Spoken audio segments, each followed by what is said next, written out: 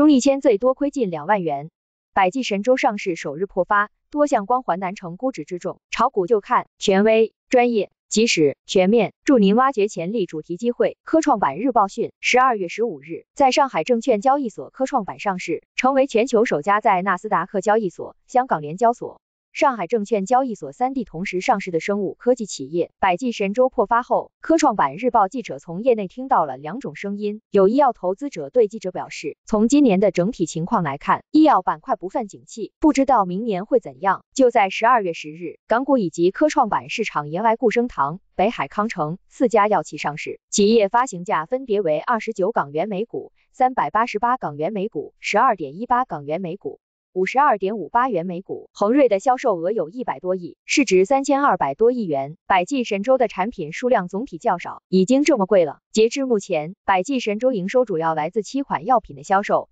以及技术授权和研发服务。百济神州另有逾五十项临床前项目。九十六项计划中或正在进行的临床试验项目正在推进，这也让百济神州产生了大量的支出。前述报告期内，百济神州归母净利润分别亏损四十七点四七亿元、六十九点一五亿元。一百一十三点八四亿元，二十四点九三亿元。它是知名投资机构高瓴资本的重仓股。科创板日报记者也注意到，今年九月以后，IPO 询价实施新规，新股发行价由此抬高，这在一定程度上加剧了新股的破发。出于护盘考虑，百济神州已引入了类协机制，授予中金公司为期三十日的超额配售选择权，可超额配售不超过一千七百二十六万股人民币股份。